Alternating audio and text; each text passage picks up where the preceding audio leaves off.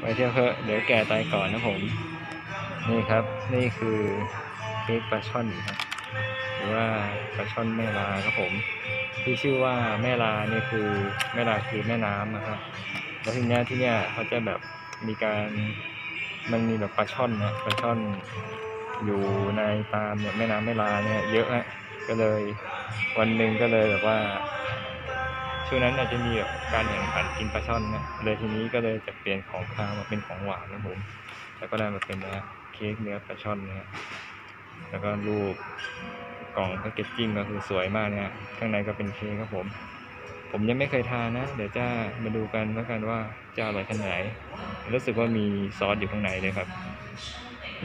อีเกสลาเบเกอรี่ครับผม เค้กปลาช่อนแม่ลาครับรีวิวของกินมาฝากกันก็แล้วกันครับ ในนี้ก็ยังมีที่อย่างอื่นอีกมากมายมีปลาช่อนทุบกล่องละร้อยสี่เก้าเมื่อกี้ปลาช่อนเวลากล่องใหญ่เค้กปลาช่อนเวลาสองร้อยยี่สิบกล่องเล็กร้อยยี่สิบครับแล้วก็มีน้ำพงน้ำพริกครับผมมีขนมเปี๊ยะก็มีครับ กล่องละ220แล้วก็120ครับ รีวิวครับ ที่เกษราเบเกอรี่ครับ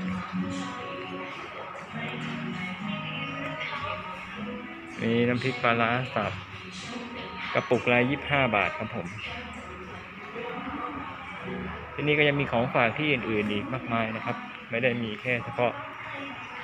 อันนี้อย่างเดียวครับผมเนี่ยไข่คงไข่เค็มชายาก็มีครับ เดี๋ยวผมพาเดินดูทั่วเลย มีกุนเชียงปลาเห็ดหอม140บาทมีคุกกี้ปลาช่อนนะครับคุกกี้ปลาช่อน ขนมเปี๊ยะไส้ต่างๆครับ อันนี้เปี๊ยะนมสดกุหลาบกล่องละร้อยสามสิบครับ ข้างในก็เป็นรูปปลาช่อนครับผม เป็นรูปปลาน่ารักเลย ในนี้ก็ยังมีสินค้านี่อันนี้นี่ครับ เป็นไอศครีมเนื้อปลาช่อนนะสามถ้วยร้อยครับถ้วยละสามสิบห้าบาทนี่ครับ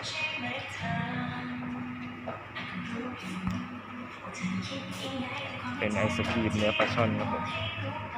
ไอศครีม ผสม ไอศครีมกะทิผสมเนื้อปลาช่อนครับ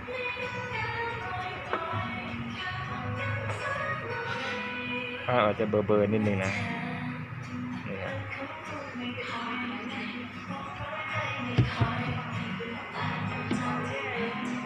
โซนนู้นก็เป็นโซน coffee ครับผม